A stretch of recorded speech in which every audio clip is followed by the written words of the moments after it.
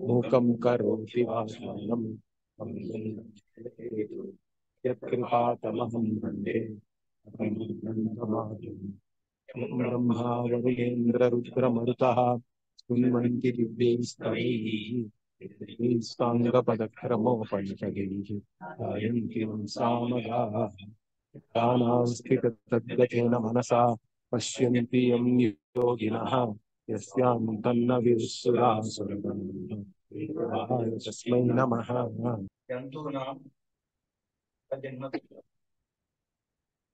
will also it is said Aridi Aridi Nidaha. So the question that comes is why is it so?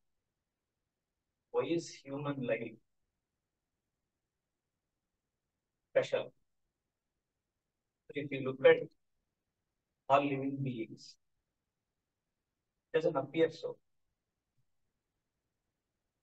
Animals seem to have more power.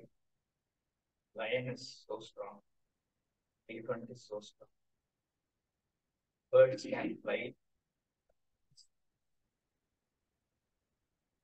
So that is one thing. In terms of strength, human beings are weaker. But say human beings have better intellect. We can rule over. them. But even there, if you see, human beings seem to have more problems due to the mind. Right? Rather than it being helpful, because we are self-judgmental.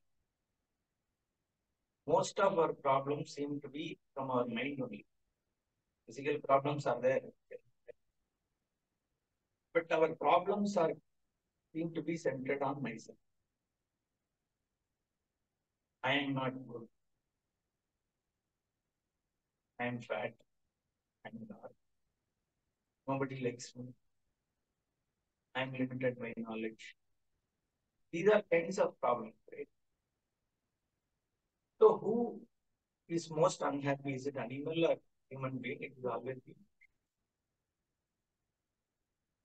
So no cow will go and uh, Swamiji used to say, no cow will go and stand in front of the mirror and check if the horns are looking nice. Dog will check whether my tail, dog has a pride on its tail, but it doesn't really look at it that way. But human beings, you know, we always have problems. Then why is it said that Jantunam Janma Durlabham? So what is so special? What is unique about this? Whatever we said was the problem is what is the highlight. Due to our free will, we have an ability to make a conclusion about ourselves. A cow cannot make a conclusion about itself. Dog doesn't make a conclusion, but we can make. That means this Janma has an ability to know myself. For self-knowledge, understand who we are. It is said only human body is not even Deva Sharira. What is Deva Sharira? De- Devatas. What is Devata? We say 33 crore Devata. Let's just understand what Deva. What Deva Sharira is. Some of these we'll cover later.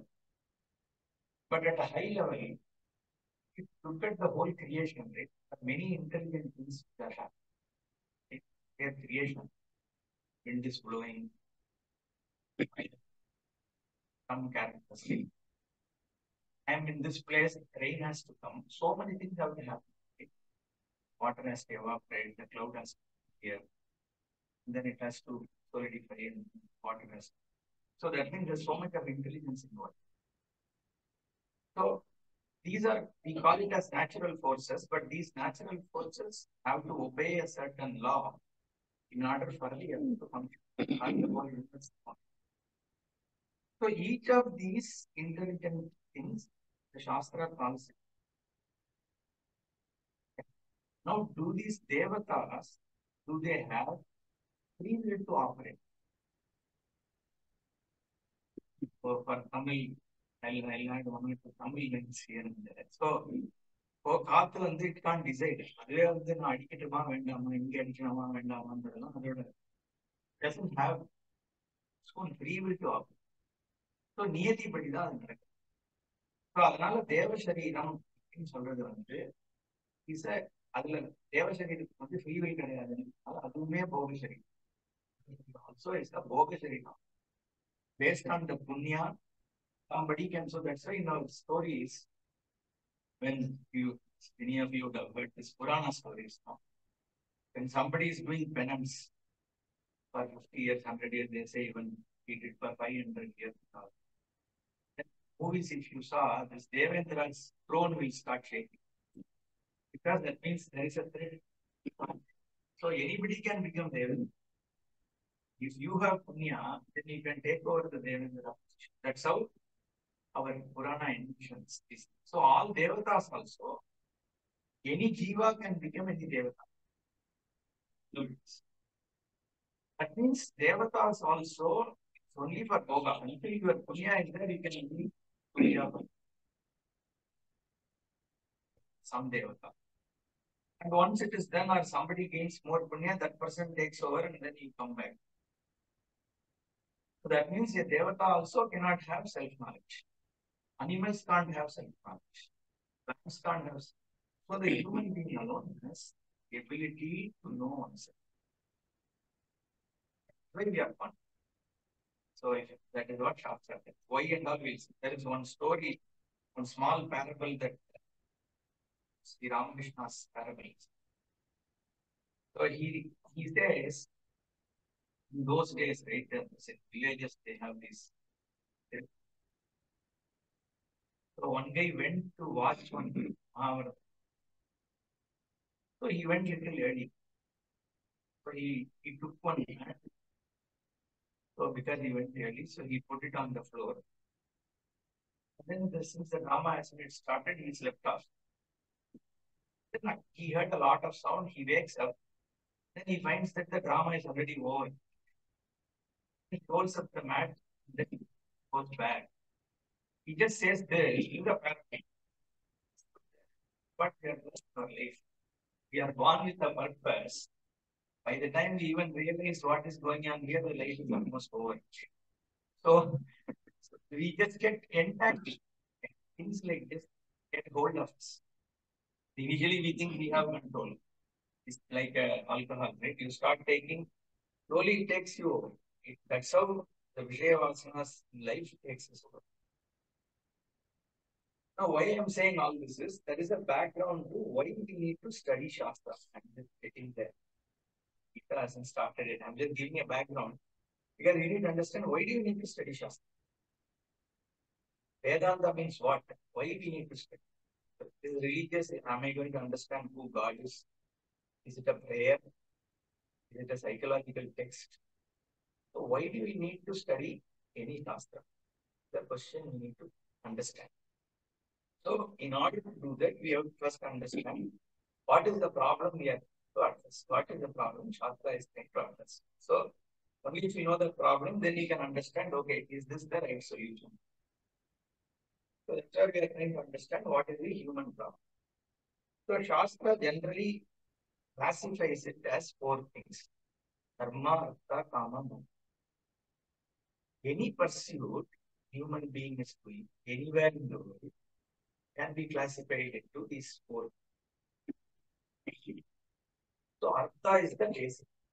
Basic thing is what we call as artha. Artha means seeking security. Even though we say money, but we are not seeking money for money's sake. And we are seeking money because we want to be secure. So I want to have a house, I want to have a bank balance because I want to feel safe. I want my children to be safe.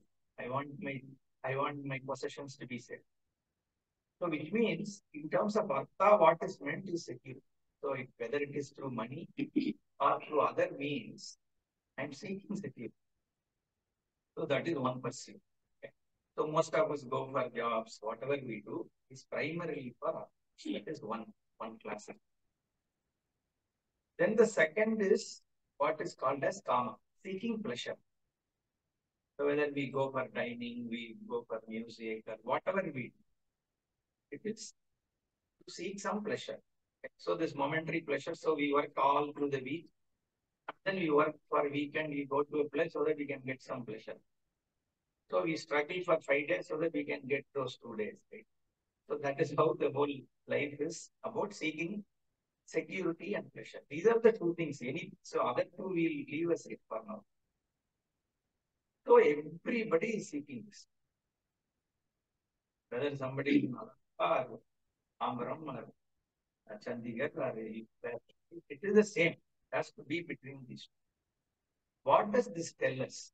This tells us that somewhere everybody takes oneself to be insecure and unhappy. Everybody, there's no, this is a common problem. That is why we classified this four. Okay. Specifics may be different. See, I may be looking for a car, you may be looking for a bike, somebody will be looking for a house, someone is looking for bank balance, somebody is looking for travel, whatever. Specifics can be different. But the basic is the same. I am insecure, I am unhappy. So this is what everybody is. Anybody here who doesn't agree with this? Nobody is. So we are all seeking solution for this. What can be the solution? Suppose you want a car, you get a car. Is your insecurity gone? Is that or something adds to it? And you, it's never need anything. Not that I have only a car one. I have 10 or 20 different things. Of which 5 gets fulfilled, 15 remains always, another 10 gets added. So it keeps on going, going, and then I have to roll the mat and go away, right? Like saw. So this is so by adding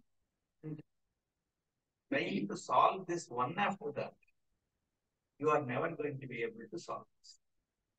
By accumulating things, you are not going to feel secure. Because you are inherently insecure. Human being inherently feels insecure. You just, it's like somebody getting angry. So when someone is angry, you don't need a reason, right? So if you're, you will know when you look at your spouse, person is angry. Whatever you say, he or she will get angry. It doesn't matter. There will be no logic. Because the person is, something is going on there, and then it just needs a trigger. Because it's like, you know, you go and sit. Suppose you try to be alone by yourself in a room. After 10 minutes, you won't sit there. You will get up, do take a bath or take a shower or switch on the TV. Because you are uncomfortable with yourself. Something else just adds on. But anger is like. So the sense of insecurity also is. So there is an in, inherent insecurity, lack of. Now that is what people see. There is insecurity about what will happen me. Insecurity about you know, what will, and I have no control on things also. So what will happen tomorrow, I don't know. There, like get up tomorrow is not in my hands. They get up, there is a new day. If I don't get up, there is no new day for me. So nothing is to go. Cross the road. There is no guarantee that you will reach the other. There's no guarantee. So people, that is so people seek solution. That's where all these religions come in. Everybody comes, right? Theologies. So each one gives one solution. Somebody says there is no solution here in the life. So only thing is there is something called heaven. There is a different body which doesn't age, pain, no insecurity, all that. So if I, you have to go there, then you have to do these. Then you believe my God, or they'll say you do some punya papa, whatever you reach. So that means it is now just becoming a belief. It's a faith. Nobody knows after death you survive it. If you survive by doing this only, I'll go to heaven, I don't know. And going to heaven also, whether I'll be happy, I don't know. Suppose God comes here today, what will you ask? You suppose. He will say, give me a car. Okay, okay, will I be happy? So how can God also make you happy? If you inherently there is a problem with you, what can God give you? Who more wants, he can fulfill. Okay. So sitting in ha- Vaikuntham also, there's no guarantee you'll be happy. Two days, three days, you'll be happy. After that, you will still like getting bored. Let me go and watch some television. How long you keep looking at the God? So you have to, unless you address the inherent problem related around you, there is no solution to this one. Now there is our own belief system that we have rebirth, life cycle, and all that. So that is also another way to look at it, saying that how do you stop this of cycle of birth? Again, in some of those things, there is certain part which is belief and faith that there is rebirth. Okay, it can be substantiated with few things. But then there is birth. But that is that is a Shastra way. It's also this way of looking at you needing to get rid of your insecurity and lack of. So now what is the solution? So we already said going to heaven as a solution is not the right solution. So you need a solution when you are here. And that solution, is it possible? If you are inherently an unhappy entity, insecure entity, there is no solution possible. Any amount of things added is not going to secure or so that is where Shastra comes. So that's the end. Shastra says, you are not what you think you are. By nature, by your Swarupa, you are a fulfilled and total and. Then why do I not know about it? So that is where the ignorance comes into play. Shastra you, it is avicharism what you are taking as yours, if you ever analyze who you are, you just are born with the body and you take yourself. Generally, there is a worldly thing going on that is how we impact, and that is what it is. So, you need a way to understand who you are. So that is the basic. So, now the question is even there, we need the Shastra. If I need to know who I am, why do you need a Shastra? Why can't just God show me who I am or something like that? Right? Do I need a Shastra? It depends on how do you, what do you look at this as?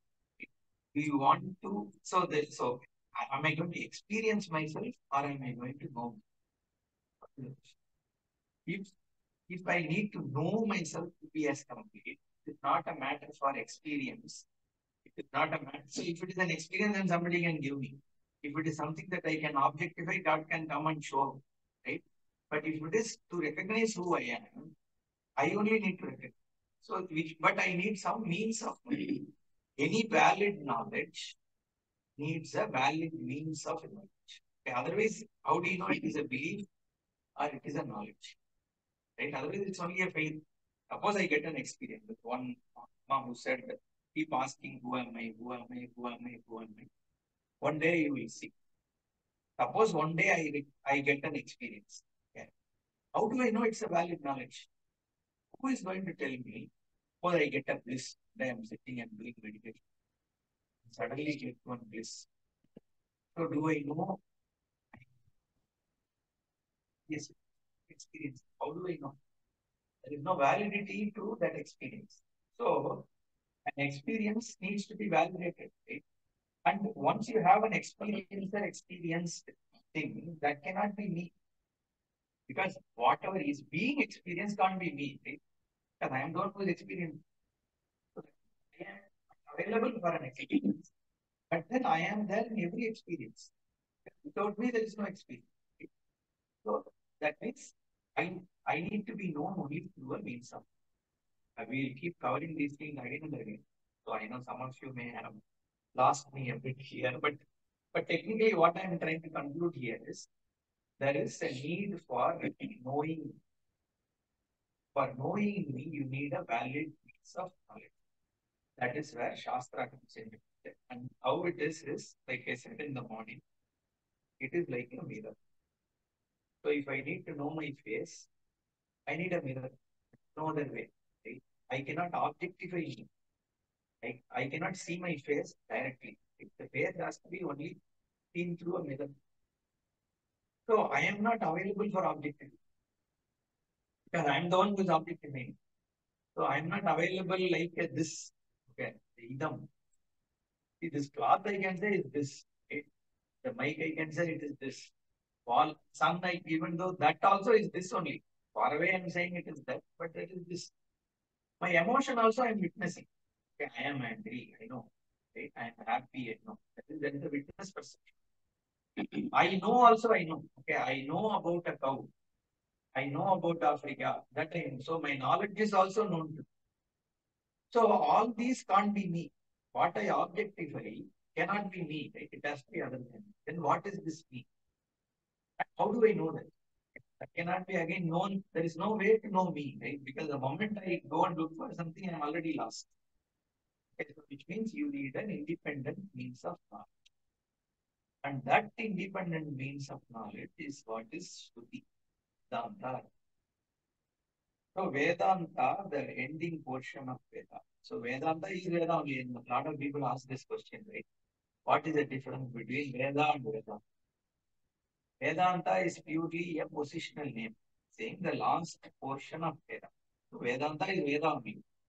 But the question then is, well, no book we split it like that. No, I don't say, uh, say like Tao of physics, the last portion of Tao of physics. I don't say that. Right? But why do we say in Vedanta that way? Because the subject matter of this portion and the last portion are totally different. The initial portion is dealing with me as a pursuer, the person who is going around seeking all the pleasures, right? Pleasures and security and all that. It gives solutions wherever, I don't have a solution. Suppose somebody doesn't have a child. Okay. Don't know why I don't all medical things, whatever is still somebody doesn't have a child.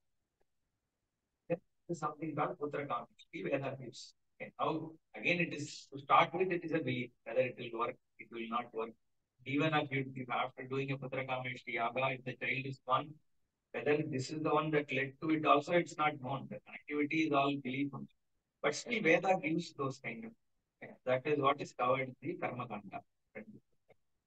And the last portion Vedanta is where this thing is covered. What is your Swarupa is revealed in Vedanta portion of Veda. That is why it is.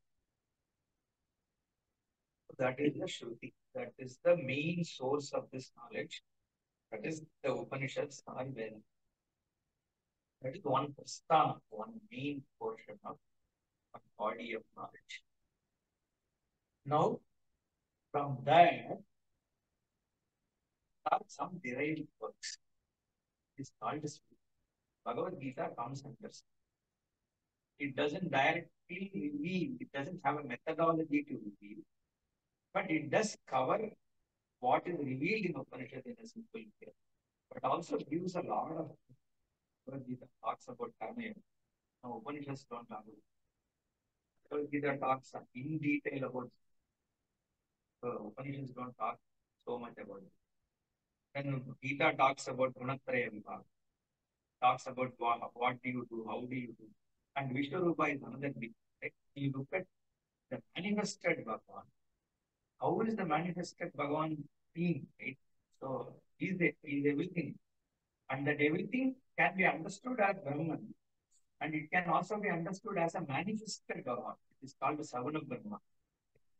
And the whole 11th chapter, when he talks about the whole Vishwarupa, and he talks about how you look at Bhagavan. See, this is another problem in Bhagavad, only Bhagavad Gita addresses it very beautifully. Right? What is God? Do you even need God? See, so far we just spoke about me, my problem, security, all that. Right? Where does God come into picture?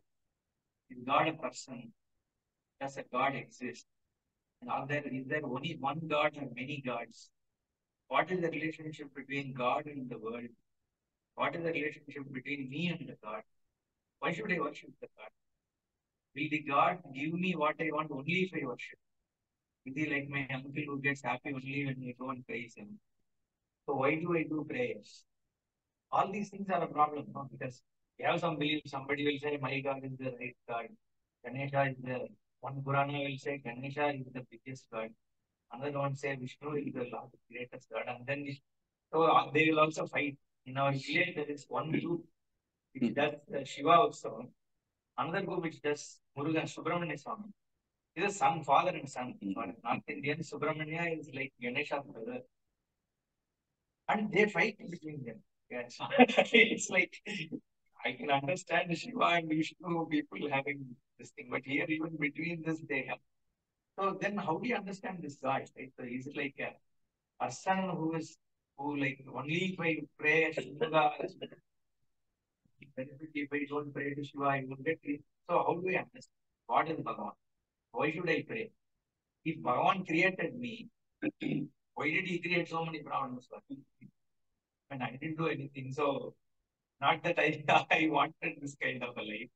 And they say Leela. Right? Leela means what? Just because he wanted to have some fun, I should be born and be worried and you know struggling here. Right? So this is Bhagavan, right? You need to understand. And why do I need to understand all? What is the relationship? Right? All those things Gita covers brilliantly. So we need that is another aspect. So that is why these three things are important, right? Jiva, Ishvara, Jagat. These are the three. And these three relationships is what most of the philosophies also cover. Even Dvaitis talk about that, Dvaitis talk about it. Advaita also talks in because Bhagavan, Bhagavan talks in Gita. Right? So we have to cover all. So, so that is that is where Gita comes in. Smriti Granthas, which are derived basically whatever Shruti doesn't talk in detail, leaves a gap on, is filled up by books like Bhagavad Gita. So Vyasacharya, there are other Smritis also. Shruti and Smriti. And Smriti has to exactly follow Shruti. In fact, Kalidasa in Raghuvamsa says, he uses this as an example. So there, is, there was a sage Gautama and his guru asked him to just follow a cow, Kamadhenu's daughter or something, Nandini on cow. He was asked to follow wherever it goes for grazing. Kalidasa is saying that this fellow exactly follows it. Okay, for that, you know, Kalidasa is adept in giving the right similes and the Upamaya. So he says he followed the Nandini's exactly the way it went just like how Smriti follows. That's how he gives the example. So this one is an example for that. He doesn't say for Smriti, Smriti follows Smriti like how he followed Nandi. He says he followed Nandi just like this. So he takes this as for granted, then uses that as Gita. So in fact, Shankara also, when he writes this commentary on Gita, he says Gita becomes a means of knowledge because Vyasa followed what is told in Shruti. Therefore, it becomes so. Then only we can assume that Shruti Grantha because that also is the reason for that also. The question is who wrote Shruti? Right? So Smriti, this Gita is written by Vyasa. It's fine. But Shruti who wrote? So what gives it that authority? Right? So Shruti is Veda. It is called Shruti because Shruti is considered as Paurusheya. It is not written by anybody. No Purusha has. That is why it is called Shrutam. It was heard by who? By the Rishis. That's why Rishis are defined as Mantra Drashtaraha Rishaya. The ones who the one who sees are the ones who saw these mantras because Vedas is given by Ishvara as part of creation. That's how it has to be. Reason also is there, okay? Because see, I said at the beginning that this knowledge can only be gained through a means of knowledge. Right? I cannot myself go and so somebody has to show me that means of knowledge and through that I see. That means I have to get that knowledge only from my guru. So I should have a guru. So if somebody could have themselves got it, I can also get it. Right? But that is not possible. That means I need to have a guru. That person has to have a guru. That person has to have a guru. So it stops where? Right? So you can't say one person suddenly, you know, he found it, right? So that is why Veda, we say, it was given by Ishvara at Srishti itself. Right? So that is how the knowledge is come. So it is called Apaurusheya Pramana. Okay, there is no Purusha. Purusha means human intervention. And Smriti is a human, and Vyasa wrote it. We know that. So it doesn't gain the authority as much as Smriti because it, it has a human intellect. So there could be an influence of Vyasa there, right? So that is why they don't give that stature of Shruti. So we need, that's why when we understand Gita, we have to understand it in line with what Veda says. Okay. If there is a confusion, Veda takes the precedence. So then there is a conflict. That's why in Dvaiti, so there are many interpretations. We need to say this because there is always 10 interpretations of Gita. ISKCON fellow will come and say that Krishna has said, I am the Bhagavan. So you can only worship Krishna, you can't worship Shiva. So that's what they say. Some will, some Vishishtadvaiti will say Krishna has said that Krishna and all that I am there beyond this Jagan, so he is only in Vaikuntha somewhere sitting. It's a, right now, how do I understand this is correct or not? So for that we have to, there is a Tatparya Linga Nirnaya all that, I will talk about it later, but primarily we need to make it aligns to the Shruti. So Shruti is first, Bhagavad Gita is Shruti. And then third one I will complete for the sake of it. The third source of Shastra is what is called Brahma Sutra, which is a Nyaya Grantha. It is an analysis. It just picks up Upanishad Vakyas and then does an analysis of it. And then gives a meaning, whether you have to understand it this understand it this way or that way. So that is the source of uh, so that is the background. Now let's get into Bhagavad Gita. So now, how does Gita start? We all know this. Okay, so there is this whole battlefield. First chapter talks about how the armies are lined up. And uh, so Arjuna comes and sees all his uh, great people there, his Guru and all. So he looks at it and then he gets disturbed. So he is in a dilemma as to what he wants to do. Now this is a setup. This whole thing is set up for Vyasa is setting up the scene. So he's giving a very complicated, what is he trying to address? So what is the human problem, right? I, one is, I always get into situations of conflict. Now, when I am in a conflict situation, what are the things I should consider for me to act? Okay, so that is what Mahabharata deals with dharma all through. Right? It creates situations and situations and situations. And then it is trying to tell you what is the right thing to do there. That is what the whole Mahabharata is about, how to, what is dharma and how it has to be done. And wherever the author has to give his view, Vyasa himself comes in as the character and tells this is what it is. So that's how Mahabharata is. And this Bhagavad Gita, he tries to cover at all levels. Okay? In a social level, how you should act. For your spiritual growth, how you should act in the same context.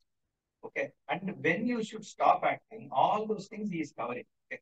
So in order to do that, he is giving one of the extreme situations, right? Where somebody has to kill his own elders, his own gurus, right? What can be much more complicated situation than this? And so if someone can take a decision in that context, then it is easy for us to take decisions in ordinary context, right? That's why he's setting up a context where he is in, not, uh, in, a, in a state of confusion. He has a situation.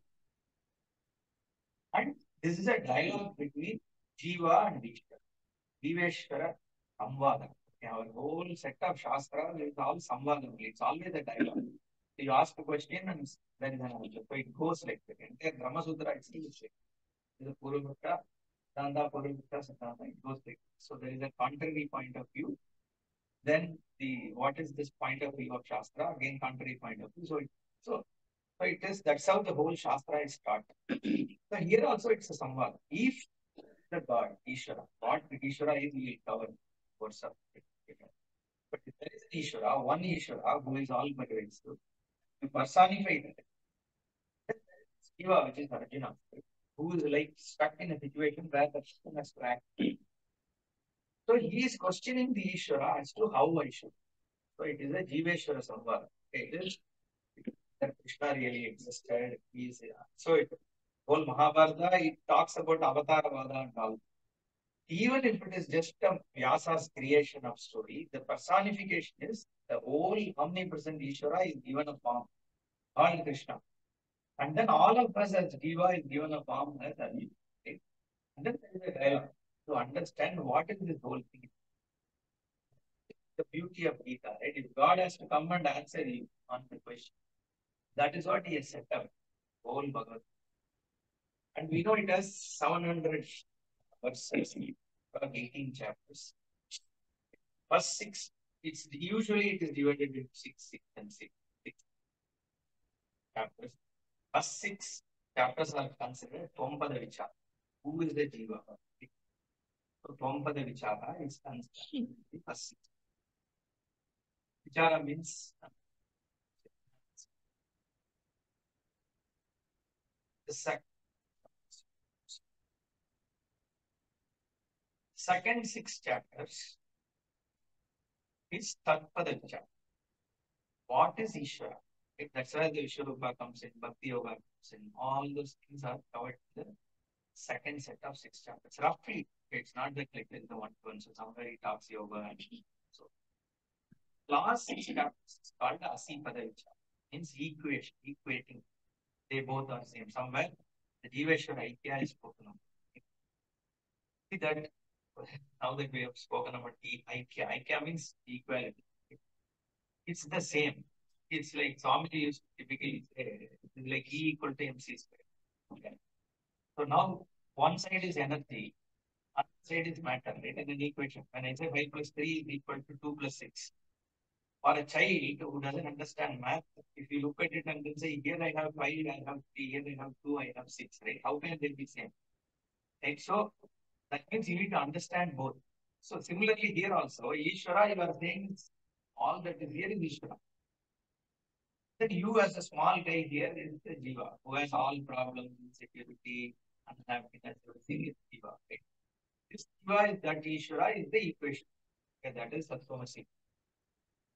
That means it has to be, and every equation has to be understood. Okay? That means you have to understand, understand what the left side is and what part of left side we are talking. Similarly, what the right side is.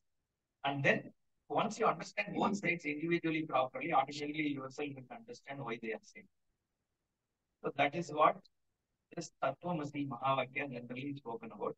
So the same thing we generally say Bhagavad Gita talks. First six chapter covers Arjuna, who he is. What Arjuna, Arjuna means identity is one thing. But as a jiva, what is his swarupa? So on the next six chapters, like in the last six is how they both are same. So that is the context of Bhagavad Gita. The second chapter and 18th chapter are considered total complete chapters. Okay. In fact, Bhagavan talks through um, yoga for substantial. First, he talks about jnana, talks about yoga, and then completes this picture. He thinks he is done. Okay. Then, starting of that chapter, Arjuna asks a question that uh, I don't understand this. Then he continues. The second chapter is actually summary of all from a content perspective. So I touched upon Karma Yoga and Jnana very. So I'll also, because today I thought I'll just do introductions to actual, then start from session. So about, it needs both emotional as well as intellectual. For you to understand, see, for you to understand physics, you don't need emotional maturity. You just need intellect. So, you can understand temper, mathematics. In this case, about your own Swarupa. We are talking about this Jiva Swarupa is same as Ishvara. So what happens when a person is not emotionally qualified? So you cannot see for if so the hindrance always comes in this Vidya only from yourself. That's Jiveshwara uh, I take now, right? So which means it tries to free you up. Basically it tries to free liberate. So what we said that insecurity and unhappiness and all that. says those are not your characteristics. It shows who you are and frees you from all. You don't need to be a sannyasi or because or whatever it is. Anybody gains this knowledge. If that sannyasi is mm-hmm. not generally given as an because you don't want to be disturbed at the time of. But the point is, it liberates everybody. It doesn't matter whether it is so. That's why Bhagavan is always calls it as jnana karma sannyasa. Okay, so through knowledge, you are free. It's like again, Puji used to say, somebody has clutches. Somebody thinks his uh, limb is broken, right? And he has clutches. So is he secure or is he insecure? He is insecure, right? And so he always feels the moment my clutches are gone that I'll, I'll fall down. Right? So the clutches don't make him secure. It actually makes him more insecure. So what Shastra tries to do is to remove the clutch and show you that you are actually not limping. So that is the thing. Now, for somebody's clutches to be removed, that person has to be emotionally mature, right? He should have already come to a stage where the clutches can be removed, right? So, which means that emotional maturity is also important. That is why the Shastra, Bhagavad Gita becomes very important because it talks about Karma Yoga and Bhakti, which creates that emotional. So, lot of Gita, if you see 80 to 90 percent of Gita is talking only about yoga, bhakti, and all that, which is focused towards growing the person emotionally. Jnanam is a very simple thing. Someone says, what is there? You are everything. Now, reveal that there is a prakriya, there is a methodology. Person has to be mature. That emotional maturity, that is why these days they talk about Bhagavad Gita as a psychological text, management so they try and take people, you know, how do you look at job? And there are also all kinds of, in Tamil, they have that something, and that's not there in Gita itself. They just do write something. So everybody writes whatever they want about Gita, right? So anything you see, like, it's like spirituality, right? Anything you can say, create a mystic air about it. You are not what you think you are born. You don't think that, you know, your body alone you are you know, what obtains every so something like that you create, and I become a big Swami. So that's so that mystics mysticism is what is uh, so that's where the whole this so it is it is a fatalistic. Honestly speaking, Gita doesn't say that. If you say it is taking away your own ownership of the problem. Right? Gita talks about karma and you are accountable for what you have done. Right? You can't say leave it to fate whatever happened is fine. It's not what it says. So there are those kind of uh, things about Gita. That, so what I was trying to say is, so for management, other things also, they talk about Gita because it covers how you have to act. In a situation when there is a problem, what all things you should consider. See, to Arjuna, Bhagavan says, first he says, people will make fun of you. Then he go, goes to next level and then say that okay, you are considered as a Veera, so it's not, you are, it's not good for you to do that. Then he goes one more step and he says, you know, if you die, you will go to Swarga, so just do it. And then finally, even after that, he wasn't satisfied. Then he says, okay, you do it now, you have to do your action because this is yajna, my yajna which is going on. But when it when it is right, it will automatically fall off from you. So that jnana also, he takes it. See, that is where our culture is a beautiful takes you all the way. So when you go to temple, an Ajnani can go to a temple and relate to the Bhagavan. A Jnani also can go to the temple and relate to the same Bhagavan, but in a different way. Because he has, see, think of it. You go to Shiva temple here, right? Any big Shiva temple. A huge temple. It'll be like one kilometer. These Gopurams, which have all sculptures. And in Prakaram also you'll find uh, Dakshinamurti, Ashtabhuja Durga, then Navagraham, all kind of sculptures. And then inside the main sanctum area, you'll see Shakti, Subramanya, all with all arms. But the main sanctum, there'll be one stone, round stone. That's all, right? Called when somebody could have done like one kilometer, one kilometer area of sculptures and all that, they could have easily put one good sculpture of Shiva, no? With uh, Chandraprabha and Ganga and Rishabham and all that. So why didn't they do it? They could have done that, right? Shiva, Shivaji can be, so when they could have made for Subramania, also they could have. So, because there is a tatparya. So, the whole, that is why this Nirguna and Saguna comes into picture. The whole Jagat is Saguna. But what is supporting all that is a Nirguna Sthana. Okay, Bhagavan also says in Gita that I am like a Sthana, I am like just a existence. That's it. The eastness which support the whole thing. And it doesn't have a name or form or shape or whatever it is. But then you are saying, you can say, okay, you are still having a shape. That's why they give a name Linga. Linga means it is indicating something. It is that is not Shiva. It is showing what Shiva is. So it is for you to understand what it is. So that's why I'm saying in our culture, even a jnani going to a temple can relate to. So somebody who is an ajnani will relate to it as some god who is sitting in Kailasa and all that is fine. But as you progress, it is still relevant. So that is how the Shastras are. So it takes you all through. So here, why I was, I went to that is Bhagavan. To Arjuna, he goes all levels and shows how to do an action. Considering everything, right? Social situation, individual situation, people's situation, his own emotional growth. And so if you consider these, these, these things, how do you act? That's where I think Gita becomes um, one of the uh, one of the most prominent. I don't think any anywhere it has been covered in this uh, this extent. And there are many Gitas, right? So we have heard about. I mean, I don't know about seven or eight Gitas.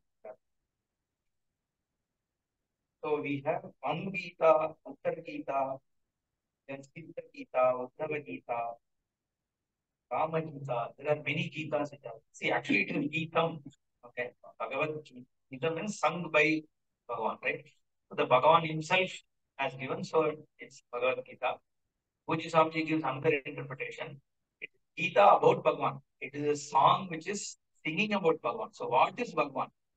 See, finally, if you see, we say Jiva, Jagat, eventually it ends up saying that all that is here is only Bhagavan. There is no Jiva, there is no Jagat, there is nothing. That means the whole Gita is about Bhagavan only, right? So you are talking about Bhagavan. So finally, that's why I see some people say this Advaita I mean, means you are rejecting everything. It is about, you know, trying to move away from Jagat, like they look at Bhagavad, Bhajagovindam and then say that you need to create Vairagya, Viraga, passion and all that. But that is not how Shastra looks at it. Okay? We look at everything as Ishvara. So there is nothing to move away from, right? It's a glory. Ishvara's glory, which is Jagat. So you celebrate the glory. That's why all everything is Lakshmi, you know, Santana Lakshmi, Jana Lakshmi, Dhanya Lakshmi, Veera Lakshmi, Dhairya Lakshmi. Everything is glory of Ishvara. That is what Gita talks about. That's why Namayamsho Jivaloke Jivabuddha Sanadana, some everywhere Bhagavan says it's all me, me only. The whole Jagat, what you see here is only me. So it, there is no Viraga, Vairagya and all that is only to bring you to this knowledge. Right? Once you are into this knowledge, you celebrate the whole thing as Ishvara's glory. How it ends up. So Bhagavan, 18th chapter, it says, right, Sarvadharman Paritejya Mamekam Sharanam Maja, Amdva Sarva Bhabebhya Mokshayishyami. So Mamekam Sharanam means what? This knowledge, take refuge in this knowledge. It shows everything here is Bhagavan. So that's how the whole Gita is. So we'll start with uh, I'll pick around 15 verses, key ones. And cover the entire chapter. One primary ones I'll take. If we have time. I think I have five minutes left, but it's okay. Four, another four. Four.